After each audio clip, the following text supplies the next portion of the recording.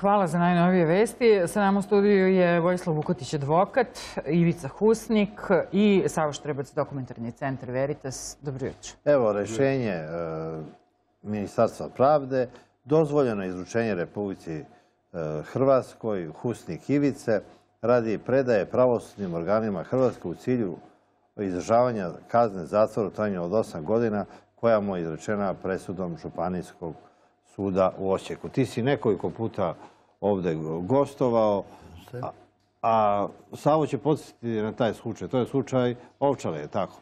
Ne, ne, ne. On je ovaj, za Ovčaru suđen u Beogradu i odležao je. Da.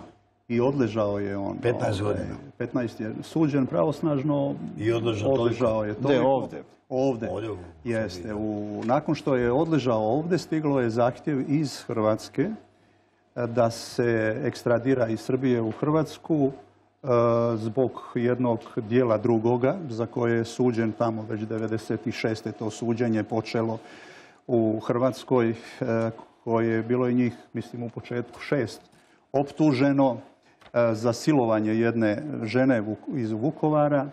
E, I taj je, to je suđenje trajalo, boga mi, punih jedno 15 godina. Tu je bilo oslobađajućih, pa odbijajućih presuda, svašta je tu bilo. Na kraju su ponovljena suđenja njegovom bratu i još jednom ovaj, Hekiću. Hekiću. Pazite, Husnik je po ocu Hrvat. Njegov brat je Hrvat. Hekik, He- Hasim Hekić je e, musliman. Dakle, oni su njih optužili za silovanje, pa su ih, kažem ti, oslobađali na prvom stepenu, na višem sudu Ali. Husnik je e, za Ovčar optužen kao vojnik srpske za i Ovčaru- jugoslovenske vojske. Kao za Ovčaru osuđen, optužen pa osuđen pod drugim imenom uh, Atanasković. Atanasijević. Atanasijević. Ivica, to mu je prezime majčino. On je bio u Vukovaru na srpskoj strani. A dok je Ovaj, brat ratovao i- na hrvatskoj strani. Pa, Pa tu je... ne tako. Tako je ne nije, on. ali, I njega su, on se zatekao tamo. On se zatekao tamo, nije imao nikako da ode u Srbiju. Nije imao para, nije imao ništa. Nije čovjek znao da ide, ide. Kako se osjećaš u ovoj situaciji da ćeš biti... Jako teško. Čekaj, ti si građanin Hrvatske. Naravno. Što mi Ali- nisu dali državljanstvo. Čekaj, ti si pokušao, iako si bio u 2008, zatvoru, da dobiješ državljanstvo. Milomire, 2008 sam predao ovdje za državljanstvo, pa 2016. Samim time što me uvedila policija i normalno i moj drug advokat, znaš, da, da se vratim na staro ime i prezime, na Husnik, da bi dobio Čekaj, državljanstvo. da si e, onaj srpski vojnik koji je osuđen za je. Ovčaru, ne tebe ne bi mogao jer ti nisi taj. Tako je, tako je, tako je. Ne- Čekaj, da si ostao Atanasijević. Niko te ne bi izručivao. Niko ništa. Nego ja poslušao jednog i drugog i šta? Rekao, ajde dobijem neka Evo da pitamo prava advokata ovdje. zašto je upropastio čoveka. Čekaj, nije praze. Čekaj, čekaj sam malo, izvini, Milovine, sam da ti kažem. Nije tako bila, nije tako bila. Nije on mene propastio, ona je mene želio najbolje. Razumiješ, ja to znam, razumiješ. Samo što se to nije složilo tako. E kao sad i ova situacija. Kao i ova sad situacija. I sad oni traže moje izručenje, bio sam kod tebe tri puta u emisiji, razumiješ, i pričali smo o tome. I ja, i Savo, i Voja, razumiješ. Šta se dešava? I sad ministarka Pavlje potpisala moje isporučenje. I sad ja imam, ovaj, ako se... Ne, to je sve- po zakonu automatski, evo Sava Ne, će ne, reći. u redu, je, ja to znam, ja to znam. Nego šta je to? Mene sad ovaj traži ovaj, kako se ovi zove, Interpola, Interpola policija. Bili su kod mene kući, ja nisam bio Čekaj, momentala. ti se kriješ u ovoj emisiji. Ne krijem se ja, niko, ali, ali ja volim kod tebe da dođem. Pa ne, ovo je, ovo je sigurna pita kuća mene za jučer, sve pita begunce. mene jučer, pa znaš znaš Da li da sigurna- ponese torbu sa stvarima? Čekaj, tebe, da, tebe, jer misli da će ga sad uhapsiti posle Čekaj, ove tebe- emisije. Teo sam A nije isključeno Čekaj, da u ovoj, ovoj situaciji Interpol može uveti da ga hapsi i da ga vodi. Može, može. Sve da nas odvede. Može, može. Ne, nas nema. Na, Može, dobro, dobro, može, nema veze. Nema veze. I ti sam si teo sam rizikovo- sebi vene da isečem. Nemoj, nemoj Ne, tako. ne, teo sam, teo sam ovih dana. Razmišljao sam mnogo, mnogo. Ali krio si se jedno vreme. Pa nisam se krio. Nek sam malo napustio kuću, ošao kod neke devojke, tako dalje. Čekaj, i ovdje se malo sakrio u ovoj emisiji. Koje... Ajde, ajde, ajde. Pa ne, mi, mi raznim nesretnicima omogućujemo da se kriju dok ih ne uvate. e, ja sam, ja sam baš upravo taj nesretnik, razumeš, koji sam došao ovdje. Ja hoću da ceo sve čuje. Kao što sam i zadnji put rekao, razumiješ i tako dalje. Vidite šta su meni uradili. Čekaj, ti Borio sam na ovdje rekao... strani. 15 godina sam odležao robije. Razumiješ? I sad oni mene šalju u Hrvatsku, njima na ruke da me zakolju tamo. A odgovara sam za 200 ustaša. I sad oni Čekaj, ti si optužen da si ubio 200 Hrvata u, Tako je. u Vukovaru. Tako, je, tako je, tako je. Na ovčari, na ovčari. Ne 200. 200, 198, ma nema veze. Samo jednog, toliko je stradalo. Koliko je ukupno stradalo, On je, on pojedinačno. ali oni su meni stavili zbiru da sam ja, a ja sam imao samo Da jednog si ubio 200 Ustaša. da sam ja bio učesnik u svim streljanjima. A ja sam bio samo jednog, morao ubiti, pošto su me... Ne, oni su tebe provjeravali da, kao, da li ćeš ubiti Nije, nego je Hrvata. Taj dan, taj dan sam ja spasio rođenog brata. I onda kad sam ja ošao po drugog prijatelja, jednog Srbina gore, njega nisam našao, ja sam za kasnije već bilo mrad. A meni su dokazali na sudu da sam ja tamo bio preko dana, pošto ovi lažni svjedoci što žive po inostranstvu, da bi zaštitili sebe, onda su pričali da sam ja bio preko dana. Da bi meni sud namjestio da sam ja bio cijel dan tamo. A Da li si ti učestvovao u tom silovanju za koje si Ne. ovdje osuđen? Ma ne, rekao sam ti zadnji put činsko suza. Znaš, sad Kako si me zadnji put pitao koliko sam ja imao ovih vojnika što sam naređivao. Pa nisam nikom naređivao, prvo sam me optužili za silovanje, veze nemam. Valjda i njoj sve sporadila. I onda, onda je ona rekla... Čekaj, ona povuka iskaz protiv tebe. Molim? Je ona povuka Nije i- protiv njega, nego protiv jednog drugoga. Kad ga je vidjela, rekla je, ove, ovaj nije bio. za tebe rekao. Ne, ne, za drugog jednoga, ja ali on očekuje da će i za njega tako reći kad ga vidi. A ja uopšte nisam bio, ja hoću da se suočim s njom, da je kažem oči. Ja A uopšte čemu onda bio. seče vena? Prosto se pojavite, žena kaže A ovo znate nije. zašto? Teško mi je više robijati. Narod Neće bi se 15 previše- godina je bio. Ima pravde, nećete robijeti. Evo advokat da kaže, kaže. "Nis- Nije on. Ali šta moram da provedem godinu dana što kaže Savo U Štrbac, istrazi. moram da, Da. provedemo Lepognave. Da. A zamislite tamo veterani Hrvatske. Kaže, ovaj ubio a ja, a ja, Hrvate. A ja srpski veteran. Da, Zamislite to, šta će mi se raditi tamo? A, Evo, vaš nemamo čega da advokat, vaš advokat radi za vrijeme ovog gostovanja. A, je li ima- Hvata im- pribaveške. Da. Evo, kakva je pravna situacija Husnika? Pa Da vam kažem, ovaj, ja ne bih, On mora da bude izručen Hrvatskoj. Kao To je Hrvatski... gotovo, to je gotovo, to je gotovo. ja ne bih ovaj, da ponavljam, od Boga. ne bih da Koji su ponavljam, odlučili neki mude tako isto. Dobro, čekaj. ja ne bih da ponavljam Da, ono što je smo već prethodilo ovom izručenju, ali bih ipak ovaj, naveo neke vrlo bitne stvari koje na neki način ovaj, eh, osporavaju zakonitost tog izručenja.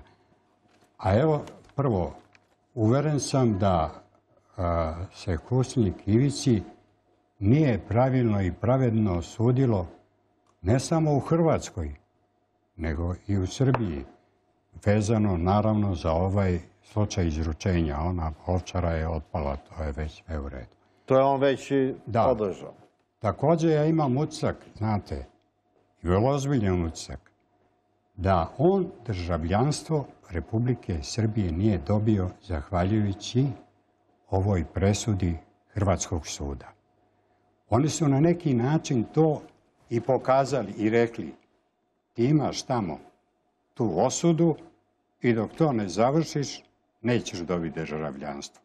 Znači, u pitanju je čista jedna pogodba Politička stvar. politička koja možda ima i te stvari, politička stvar, da je tu njemu napravljeno to.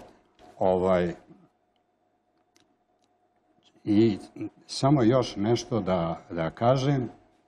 Ovaj, Recite nije mu- kolega nije da i tužilaštvo, dato- ne, tužilaštvo bilo neka, protiv neka, izručenja. Neka, kolega. Ne, neka, Reću dobro ja, imam dobro ja. Ovaj, on, kažem, nije mu dato državljanstvo iako ima sve uslove. Jedino ono što je on stekao u ovoj majčinoj zemlji, Ono što je stekao u Srbiji, to je 15 godina robije, koje je odležao Tako i je. izručenje I- Hrvatskoj. uh, tako Majka je. mi je rođena u Srbiji, djeca mi je rođena u Srbiji. tako je, samo Žena mi je rođena u Srbiji. molim te, nemoj I svi Srbi. Šta sam ja onda? E, ovaj, o, stekao Zvanično je, ti si Hrvat ponovo.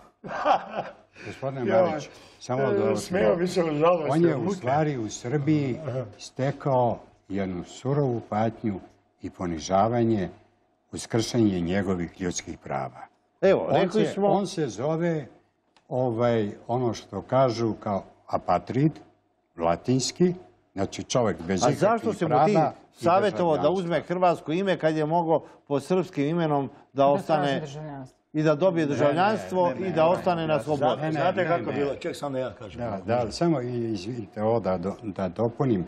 Nije ovdje problem u imenu, jer i u presudi i u zahtjevu za izručenje stoji Husnik Ivica, pa onda kaže Atanasijević i Ivan koji je promenio Ček, samo da ja Ivana kažem, ček, samo Slušajte, gospodine Marić. Čekaj, ti si Ja kao... sam ovdje Ivica, ja sam ovdje Ustaša. A tamo Razumete? A zašto nije Ustaša Ivica Dačić? Ne. Primjer, primjer. Primjer. Ovo, Znači, Ivica je zato što prezime. on je Ivica Dačić. da, da, da. A ja sam Ivica Husnik, ja sam Ustaša. I sad mene Ne, ovdje je prezime Ivica, ima dosta Srba koji se zovu Ivica. Da. Čak i ono eto, Ivica i ali- Marica. Ali vidite, ja kad sam bio u zatvoru... Uvek Ivica, Ja kad nikad u Marici. Ja kad sam Ne, bio u Srbiji je najvažnije uvek biti Ivica, nikad u Marici. Ali ja kad, ali ja kad sam bio u zatvoru, u zatvoru, čim neko čuje da sam ja Ivica, on me drugačije gledaju. Vi ne znate kako je unutra, ja znam, ja sam prošao to. To je, to je u zatvoru. Evo, ali evo, kogod je u nekoj nevolji, ovdje su otvorena vrata i mi krijemo razne nesretne Dobit ljude. ćete azil od Marića. E, Dajemo Da, politički azil za razliku od drugih. Uđete, uđete u, u jutarnji program i ovaj, pocepate pasoš i tu ostajete. mislim- Ne, ne, ne, ne. Najvažnije je meni se predati. pazite, Ovo, ja sam, mi smo Marić. Marića zamolili, Ja sam ga ja zamolio, čekaj sad on je mene prekjučer zvao, imali smo jedan dug razgovor telefonski, on je ovdje najavio da će mirisati ljubičice od ozdo u jednoj emisiji prije nek što će otići u Hrvatsku. U, ja i kolega i s njim je razgovarao, imali smo duge razgovore u nedjelju, jer je on već bio pripremio da sebi oduzme život, jel da prije nek što ode u Hrvatsku. Ja sam mu ispričao priče, sve koje znam i nije on prvi koji ide iz Hrvatske u Srbiju. za Ne, zločine. on je sedmi, on će biti Srbije u Hrvatsku, on će biti sedmi kojeg ova država izručuje u Hrvatsku. A je jedan zločine. izručen iz Hrvatske Srbije? Nije. Nije. Imali smo jednog Hrvata pa Ne. smo i njega poslali u Pa smo ga vratili. Da. Da. Ove, I onda sam mu rekao da, kakav je to o, način, on jeste, on ima pravosnažnu presudu, kakva je takva je, koja ne bi mogla da prođe nijednu reviziju nekog suda van Hrvatske. On će sada ove, ići u... Ali oni njemu sude za ovčaru, za ubistvo Hrvata, a ne zbog silovanja. Ne, ne, ne.